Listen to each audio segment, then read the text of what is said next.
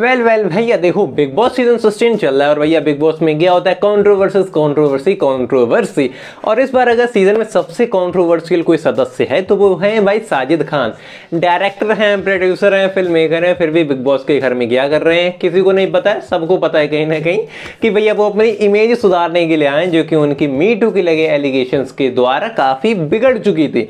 तो भैया, ऐसे में दोबारा से साजिद खान आ चुके हैं, लोगों के निशाने पर। वेल देखो, आने वाले दिनों में मतलब काफ़ी बार हमने देखा ही है। जब से भैया बिग बॉस घर घर के अंदर गए हैं साजिद खान, सबसे ज़्यादा अगर किसी को लेकर कंट्रोवर्सी हो रही है घर के बाहर, साजिद खान ही स्टाइलिन चोपड़ा किस तरीके से मीडिया में रोती हुई पाई जाती है, किस तरीके से उनके एलिगेशन और भी ज़्यादा एक अलग ही रफ्तार पकड़ रहे हैं, और ही ज़्यादा भैया उनको बूस्ट मिल रहा है, वो भी एक अलग ही लेवल पर है।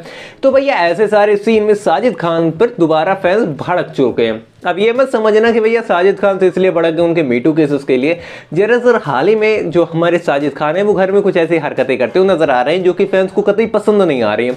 जैसा कि आप सभी को पता है, गौतम विज ने पूरा का पूरा राशन त्याग दिया और भैया घर की कैप्टनसी मंजूर कर लिया अब ऐसे में साजिद खान, जब भैया गौतम काफ़ी बार साजिद को मनाने के लिए जाते हैं तो भैया यहाँ पर साजिद डे वन से उनको माँ बहन की गाली दिए जा रहे हैं, जिसका कि भाई कोई भी रिस्पॉन्स यहाँ पर गौतम विज नहीं दे रहा। अब मैं भी अगर मेरा पर्सनली ओपिनियन मानो तो मुझे ऐसा लग रहा है, एक तो गौतम विज काफ़ी गिल्ट भी फील कर रहे हैं कि भैया चारों तरफ़ से ताना ही मिल रहे तुमने ये क्या कर दिया?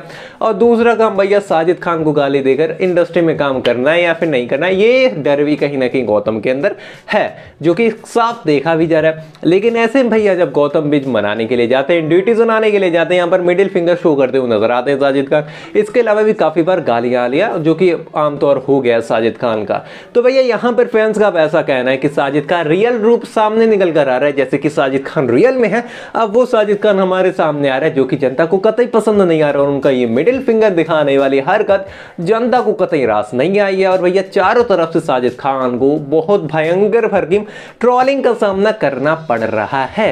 वेल देखो, मेरे हिसाब से साजिद खान जो है, काफ़ी कॉन्ट्रोवर्सियल भी है। आपके इसके रिगार्डिंग में क्या रहे हमें कमेंट बॉक्स में लिखकर बता दें। वैसे मेरे हिसाब से इस पूरे वाक्य में कहीं ना कहीं साजिद खान ज़्यादा ही गलत है।